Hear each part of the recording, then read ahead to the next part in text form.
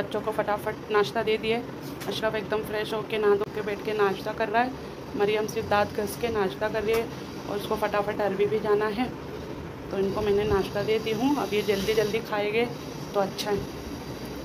चलो पप, अब इसके पप्पा भी नहाने गए बाथरूम में तो वो भी फ्रेश होके आ जाए तो उनको भी फटाफट नाश्ता दे देंगे।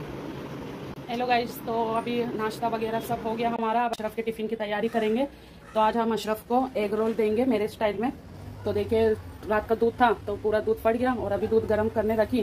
तो जस्ट अभी थोड़ा दूध गिर गया है अब इसको बाद में साफ़ करेंगे। पहले हम अशरफ के टिफ़िन की तैयारी कर लेते। तो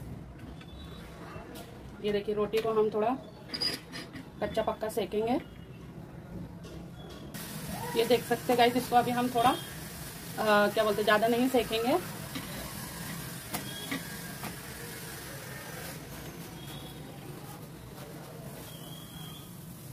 इसको हम निकाल देंगे इस तरह। एक चम्मच घी लेंगे, इसको ऐसा करेंगे, डालेंगे तवे पे, फिर उसके ऊपर फ़ौरन रोटी डाल देंगे और इसको ऐसा हिलाएँगे।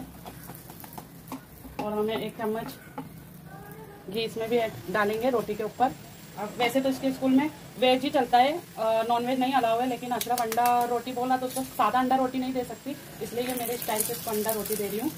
कि वो बच्चा अंडा रोटी भी खा लेगा और किसी को मालूम भी नहीं पड़ेगा।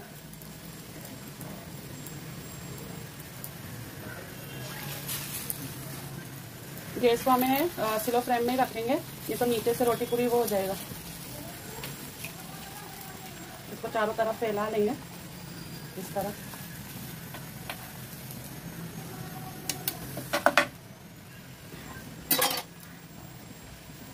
इसको भी हम पलट देंगे, ऐसा। देख सकते रोटी एकदम कड़क हो गई है। और गैस को हम बंद कर देंगे और इसी तवे में हम ऊपर के मटेरियल अपना मेयोनीज ऐड करेंगे।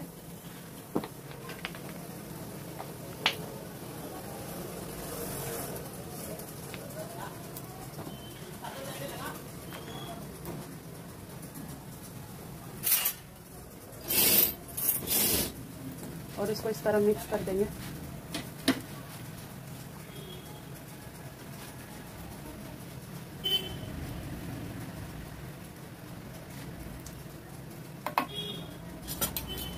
इसमें हम ये रेड चिल्ली सॉस डालेंगे। ये ज़्यादा तीखा नहीं रहता है। तो अशरफ को ये बहुत पसंद आता है। वैसे शेजवान भी उसको बहुत पसंद आता है, लेकिन मैं शेजवान नहीं डाल रही हूँ, क्योंकि वो ज़्यादा तीखा हो जाएगा। ये थोड़ा ही सॉस डालूँगी, क्योंकि ये थोड़ा तीखा रहता है। और उसके ऊपर ही हम चीज़ भी डाल देंगे।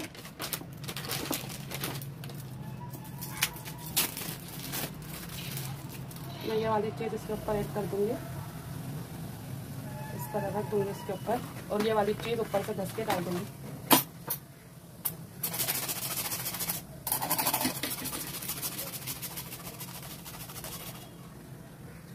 तो आप देख सकते हैं, इसमें मैंने पूरा चीज़ डाल दी हूँ।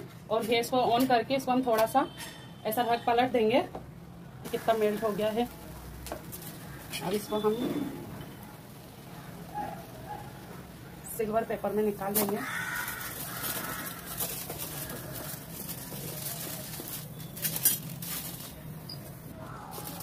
और इसको हम ऐसा फोल्ड कर देंगे। बहुत ज़्यादा गर्म हो रहा है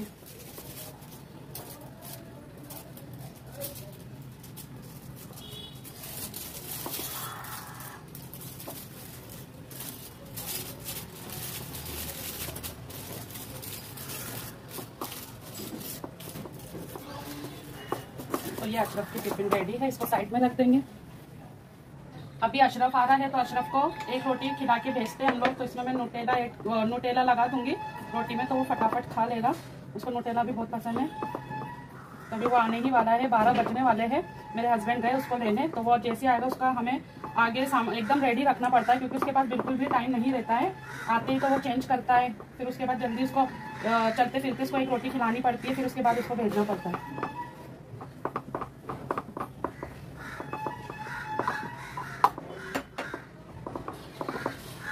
अभी आते इसको ये खिला दूँगी।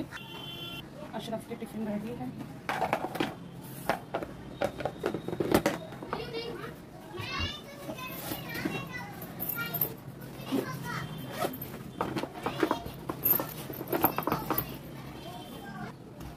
आज फ्रूट में अशरफ को बनाना, डाल देते हैं। बनाना हो जाएगा इसको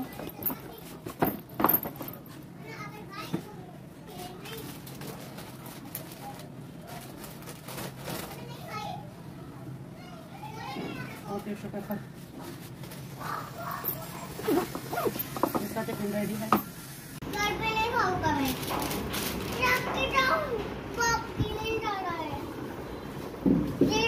हाफिज न्यू बैग लाए हुए टाइम भी नहीं हुआ और अशरफ ने न्यू बैग की ट्रॉली तोड़ दिया तो उसके पापा वो बैग बना रहे थे और अशरफ पुराना बैग स्कूल लेके जा रहा था। हेलो गाइस तो अभी अशरफ को हमने भेज दिए स्कूल में, उसका सारा टिफ़िन वगैरह सब लेके वो स्कूल में चला गया है। इसके पापा छोड़ने चले गए। लेने भी वही जाते हैं, छोड़ने भी वही जाते हैं। मैं नहीं जाती।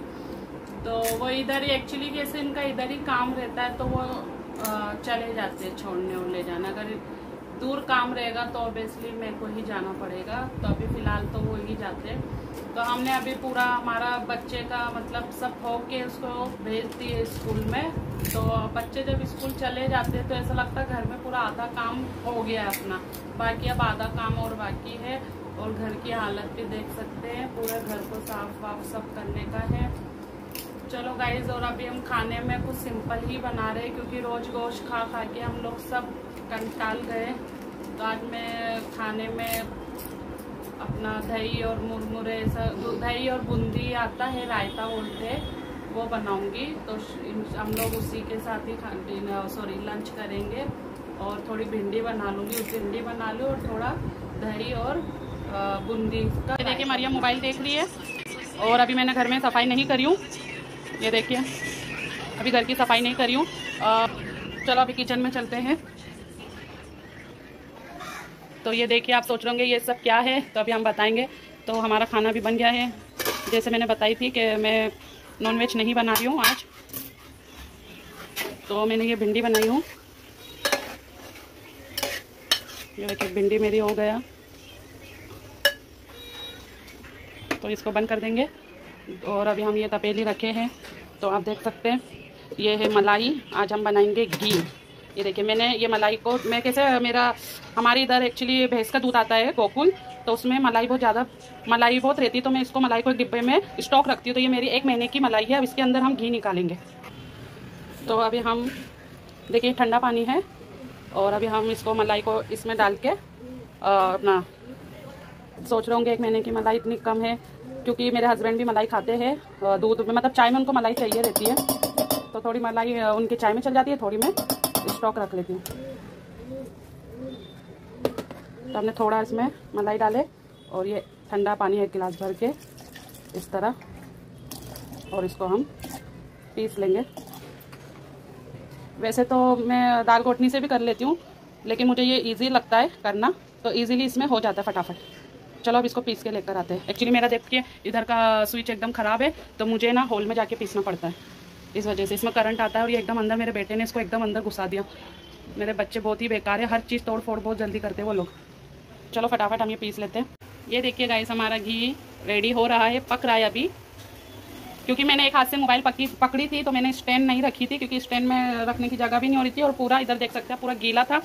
इसके लिए मैंने फटाफट मिक्सर में पीस के सब अपना छाछ का पानी वानी सब निकाल के मैंने उसको, एक तपेली में इधर डालती रही, वो बटर बोलते हैं बटर निकलता है। इनशाला कभी फुर्सत से वो भी बताऊँगी, लेकिन अभी जल्दी फटाफट कर रही थी क्योंकि टाइम भी काफ़ी हो गया था।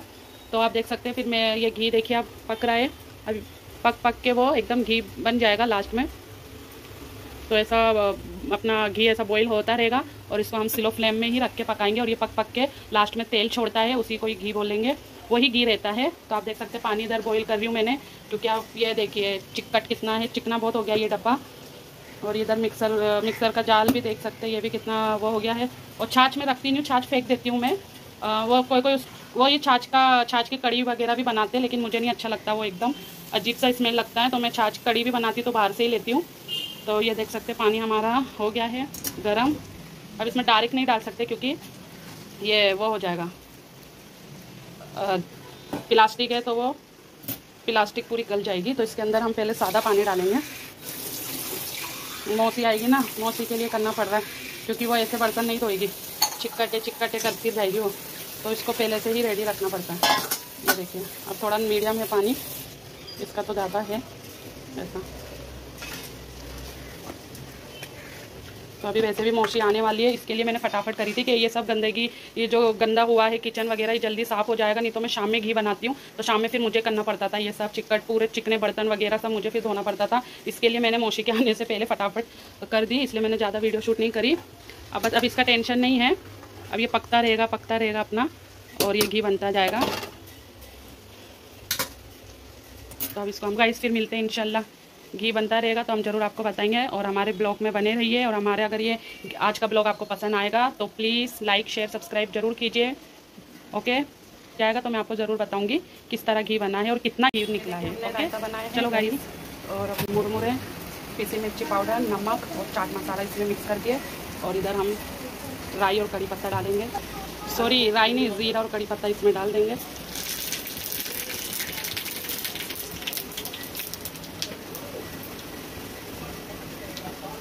गैस को थोड़ा फास्ट रखेंगे।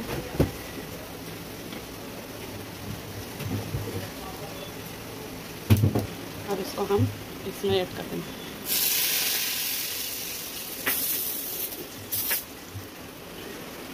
ये देखिए, रायता हमारा रेडी एकदम सिंपल तरीके से बना है। और इसको हम ऐसे भी खा सकते हैं और रोटी के साथ भी खा सकते हैं। रोटी के साथ ज़्यादा अच्छा लगता है, ये देखिए। और अभी सलीम भी आ गए हैं नमाज़ पढ़कर तो हम फटाफट अब खाना रखते हैं। देखिए, भिंडी और रायता। आज हमारा ये सिंपल ही वो है लंच, क्योंकि गोश्त वोश सब खा के हम लोग कंटाल गए। तो अभी हम सिंपल ही खाना। चलो गाइस और इधर देख सकते पीलापन उधर से देखो येलो कलर का ऐसा कुछ दिख रहा है ना घी बन रहा है, इसको तो सिलो में रख देंगे और देखेंगे बाद में। शाम तक बनेगा ये तो। पक पक पक पक के चलो फटाफट खाना लगा देते हैं। चलो मिलते हैं खाना खाने के बाद। ये देखिए गाइस मौसी पूरा साफ़ वाफ करके चली गई है। और अभी आप देख सकते हैं। घी हमारा पक रहा है। ये देखिए।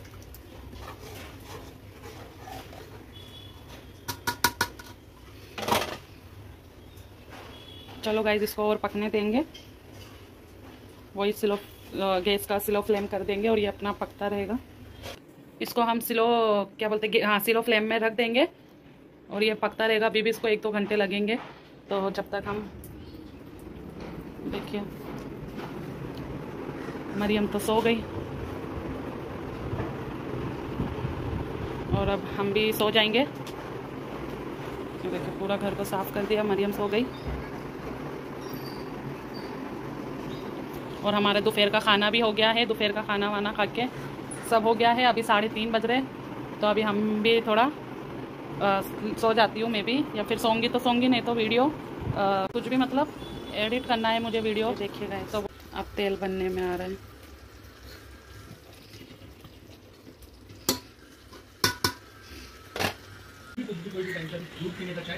घी की तपेली देख सकते हैं आप कितनी गंदी हुई है। इसको हम भिगा देंगे और इसको 100 परसेंट मोती तो धोएगी नहीं। इसको मेरे को ही धोना पड़ेगा। और देखिए ये माँ, मेवा इसको क्या बोलते हैं, ये निकला है। इसका क्या मानी क्या तो बनता है लेकिन मुझे नहीं आता, इसलिए मैं फेंक देती हूँ। और ये है हमारा घी। एक मिनट का। ये देखिएगा इस हमारा जो बन गया है, ये आधा किलो बना है। कम से कम माशाल्लाह आधा किलो तो बना ही होगा। देख सकते हैं एकदम प्योर घी है और स्मेल भी माशाल्लाह बहुत अच्छी आ रही है। ये पतेले को भी मुझे